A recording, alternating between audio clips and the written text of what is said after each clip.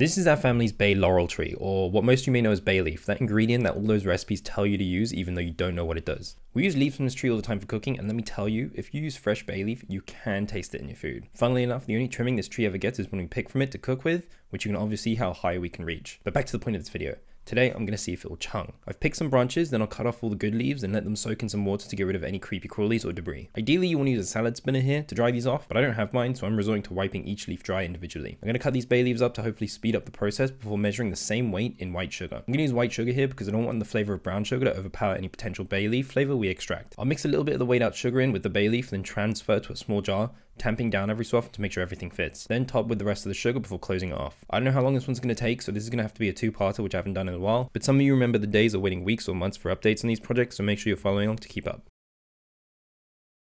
So let's do an update on the bay leaf cheong, or the bay laurel cheong. And to be honest, nothing has happened. I didn't personally expect much to happen, but I didn't expect this little to happen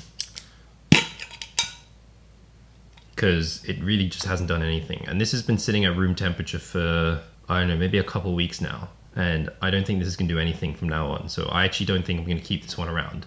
So yeah, this one is for all the people that are asking. An update on the bay leaf cheong, nothing has happened. And I'm probably going to stop this one now. So you can stop asking now.